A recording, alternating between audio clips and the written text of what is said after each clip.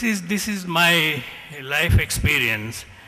One thing that it has taught me is that if you have a strong desire and motivation, you can succeed and uh, you can plan for bigger things from time to time.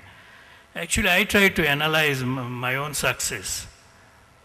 And then I found a quotation from Upanishads which explains why I succeeded. It's not uh, difficult to remember, it's very simple.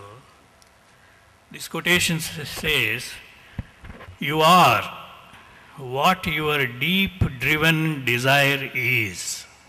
You are what your deep driven desire is.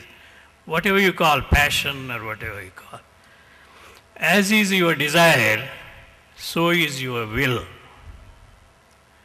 As is your will, so is your deed.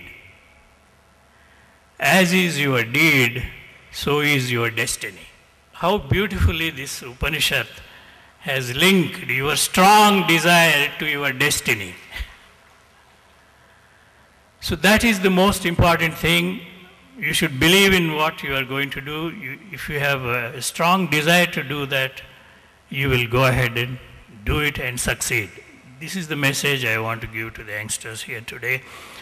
And as we go along, we will be able to answer uh, more and more questions and uh, bring some more uh, uh, learning process to become an entrepreneur. Thank you very much.